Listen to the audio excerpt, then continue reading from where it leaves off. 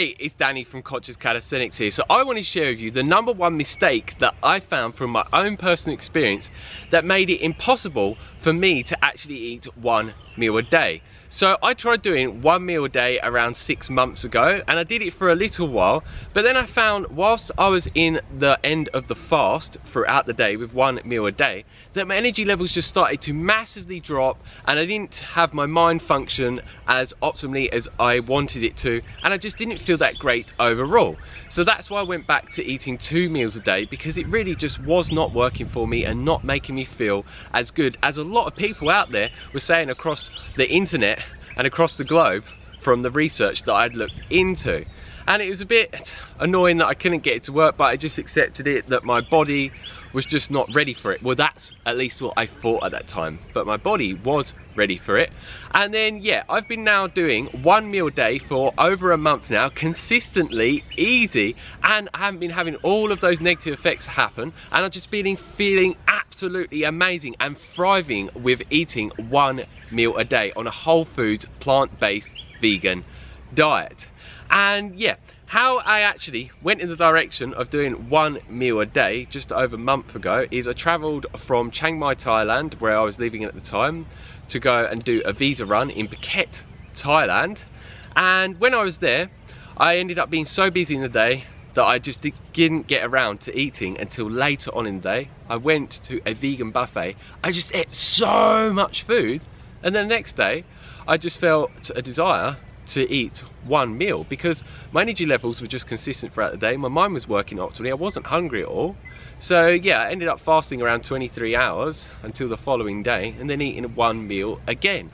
And the reason I discovered very, very quickly as to why it was working for me very, very easy this time around was because I was absolutely stuffing myself with an abundance of calories. So that's why I was failing in the past because I wasn't eating nowhere near enough calories for me to able to be fasting around 22 to 24 hours every single day until the next day and just eat one meal a day.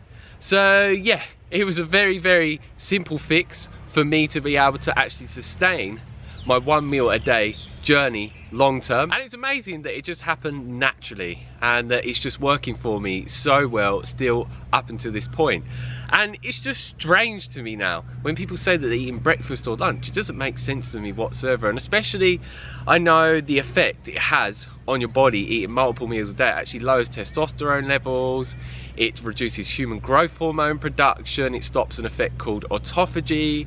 It increases your insulin levels. And it just stops a whole host of other amazing benefits that you get from fasting for longer periods of time throughout the day and restricting your eating window to such a short period of time. And a lot of people ask me, how long do I actually eat for? And it varies depending on if I'm filming what I eat in a day, if I'm around people. So it goes anywhere from an hour to three hours. I prefer to eat within a one to two hour period, but it doesn't always work out that way. So this is why I've mentioned in other videos time and time again that I do not recommend calorie restriction whatsoever when eating one meal a day. And people that I've coached and helped around the world that eat one meal a day, the people that get the highest success rates and do it the longest period of time are the ones that are eating an abundance of calories.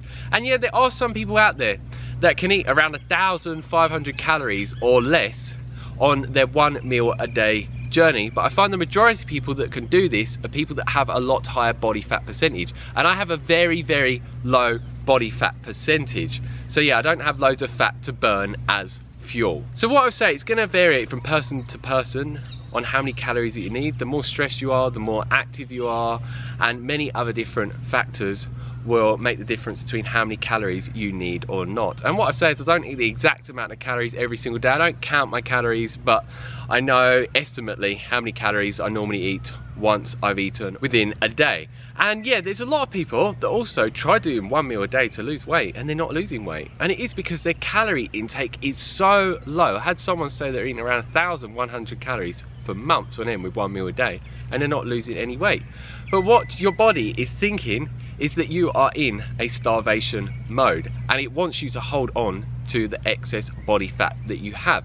So I've seen it with many different people that once they start increasing their calorie intake, they then start to shed the excess body weight that they are wanting to lose. So this is something that you should just keep in mind if you're finding that you're not getting the weight loss results that you're looking to achieve and sustain long term with your one meal a day journey. And if you're someone that finds it hard to eat big, big meals with your one meal a day diet, then what I can do is put a link for a video here where I talk about how you can easily over time increase the amount of calories that you eat within one sitting.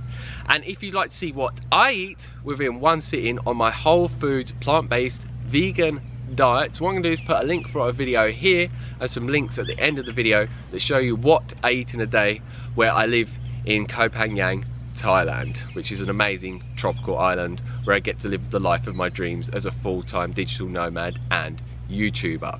So yeah, that's it for this video. If you have any questions, leave them down below as always, and I get back to you as soon as possible. If you like the video, like it down below, give us a thumbs up, and please share this video with anyone that you think would love to hear about any of the information that I've shared with you today in relation to making one meal a day work as easily as possible for you and other people. And if you'd like to receive a lot more videos from me on a regular basis, make sure you click that subscribe button down below to receive a lot more informational videos from me on a regular basis for your one meal a day journey to make it work the best for you.